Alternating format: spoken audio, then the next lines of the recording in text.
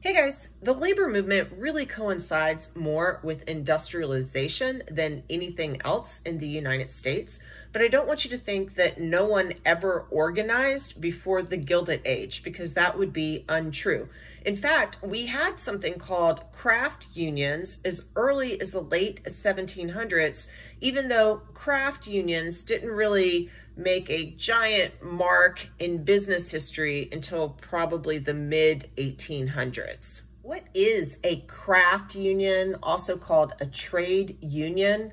That's simply an organization of skilled workers who come together around one craft, one trade, not necessarily one employer. So what these guys do in the mid 1800s is impact wages. And I can demonstrate that for you by looking at one company in particular that is going to be pretty important when talking about a landmark event in labor history that you need to at least be aware of. To understand this one company that we're going to examine, you should know that Cyrus McCormick invented the mechanical reaper in the early 1800s. And this was a game changer for farmers because it made them more productive with less labor.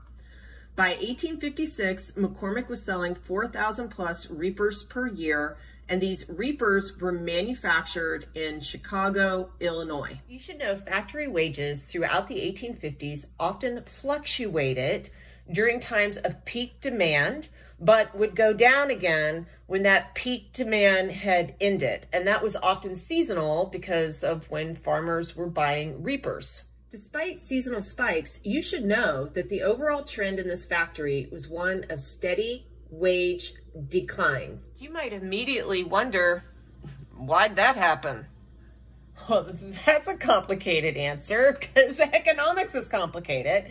But to just be super general, automation and specialization, which decreased the number of skilled laborers you needed, made some impact on wages. Also, there was another simple factor that we can address.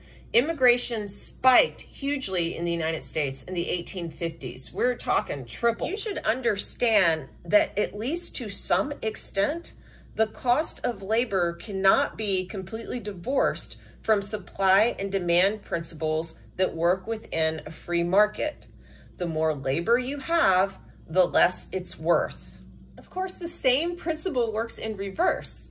In the 1860s, you see the Civil War break out in the United States. This is a bloody, horrible, terrible conflict that involves drafts for both the Union and the Confederacy. So you had a lot of workers in Chicago turn into soldiers, which decreased the number of laborers you had. So, of course, the worth of labor goes up. But our story is more complicated than that because we're talking about trade unions, craft unions, and the role they had to play in the labor movement. The Local 23 was the dominant craft union at McCormick, and it maintained limited membership for journeyman molders. These skilled laborers made up around 10% of the McCormick workforce, and they increased wages outside of supply-demand principles, which is why they are worth looking at. From a company clerk's letter dated April 11th, 1864, we know a little bit about how these guys were impacting the company. Quote, we may incidentally mention our molders are going on their fourth strike for an advance of wages since last fall. They now want 25% more. We wish we could help it, but we are powerless. End quote. What should you get from that? Trade unions, craft unions could be extremely effective in various factories for their various members before the labor movement really got going. Uh, the truth of the matter is, there are not a lot of people who are organized even throughout the Gilded Age. The labor movement doesn't really reach its heyday until the early 20th century. We're still in the nascent phase. Having said that, the first national labor union is formed after the local 23 was at work at McCormick's. Well, I talk briefly about this organization elsewhere in this video series that I've made for you. The first labor union that is national, that anyone really cares about, is the Knights of Labor. Now, to understand these guys, you should realize the union was formed around an ideology that was imported from Europe because of all the immigrants who were leaving labor strife in countries like Germany. You can imagine that there are going to be various strains of thought that some Americans will view as quite radical. For example, a lot of the leaders are influenced by anarchism or and Marxism. The KOL reaches the height of its power with the most members in 1886. However, it will be at this point that a backlash against unions in general will take place, and that will be inspired by an event that is related once more to our little factory, the McCormick Harvesting Company. This brings us to the Haymarket affair. You already know there had been plenty of strikes at McCormick before the 1880s. But by the 1880s, the Knights of Labor are also engaged with McCormick. It's not just that craft union, the trade union, the local 23. And an old cause has come to the forefront again. Way back in the 1860s, the local 23 had led a strike against McCormick, asking for an eight hour workday for not just themselves, but everyone in the factory. And in fact, it was a, an everyone in the factory walkout.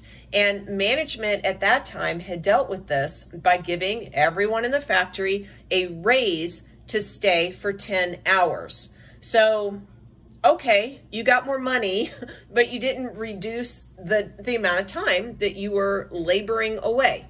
Well, by 1886, some workers at McCormick go on strike because they again want an eight hour workday, and this will be with the support of some of the Knights. What was the consequence? Well, pretty immediately, a lot of workers got fired, and then you had strike breakers who were hired because that was kind of the modus operandi of the day as McCormick is going to try and break the strike because they don't want to do this eight hour um, construct. So then on May 1st, a whole bunch of different unions uh, get together and people who are in support of labor have a peaceful parade through the city of Chicago. May 1st is now May Day, in part related to well, this. The strike over at McCormick is still going on. And what takes place soon after the parade, just a couple days later, is the police get into an altercation with the strikers, and one of the strikers ends up dead. What? So police brutality is now on display, and people are angry about that. So you have a gathering in Haymarket Square on May 4th, 1886. It attracts uh, almost a couple thousand people, which is a good little crowd in this period. And things are quite peaceful and you have speeches, it's a regular rally, and of course Americans have the right to gather and protest things that happen within society. Unfortunately, things go wrong. It was a gray, cold Chicago day. So after a little while, a lot of the crowd starts to disperse and go home. And you end up having the just kind of small little pockets of protesters. And the police come in to say to them, go, you know, move along, move along, go home now. And unfortunately, when this takes place, someone takes a pipe bomb and throws it at one of the police officers and this makes everything explode into what is now known as the Haymarket Riot. Ultimately, seven police officers die, along with four civilians in the crowd. And this is going to create a public backlash against the whole labor movement. People in America believe that you need calm to conduct commerce. And if you have movements that disrupt the calm, those movements are bad. That was the general thought. So no one knew who had actually thrown the pipe bomb, but they did know who a lot of the leaders within the movement were who were more radical in nature, who had an ideology that seemed foreign. A lot of them were foreign immigrants. So the Chicago Eight end up getting arrested and they are put on trial in what we can't say was a fair circumstance. The judge was biased against them. I think that's pretty clear. The jurors were not really a group of their peers because the prosecutors made sure to strike out anyone who had any sympathies for the labor movement. And ultimately, four four of these men end up being hung, even though there wasn't really good evidence that they had killed the policeman or incited the riot themselves. The Chicago Eight became the poster boys for systemic oppression if you were engaged in the labor union movement. Even today, there are anarcho syndicalists who will look back at the Chicago Eight and hold them up to show you injustices within the American system. And that's fair. You should absolutely think about what happened to these men, but you need to also know that the Haymarket riot killed the Knights of Labor. Why was that again? Here's my thesis. The general American public had a violent reaction to violence in the streets. And it's all about who they blame for that violence. You might also ask, did the labor movement itself also die? No, of course not. Labor still had lots of problems that needed to be addressed. So you just kind of had it change. On one hand, you're going to see rise up unions like the AFL, the American Federation of Labor, that kind of take some lessons from the craft unions. And people like Samuel Gompers, who lead the AFL, will ask for incremental changes from capital so that you can work within the system and still improve the worker's life. On the other hand, you have a lot of those radical thinkers who had been in the Knights not disappear, but reform in another union called the IWW or International Workers of the World. These guys are sometimes referred to as the Wobblies because you can bop them in the face and they'll fall down for half a second and then come back up and bop you back. So AFL one hand, IWW on the other hand, and the labor movement will grow as we go into the 20th century.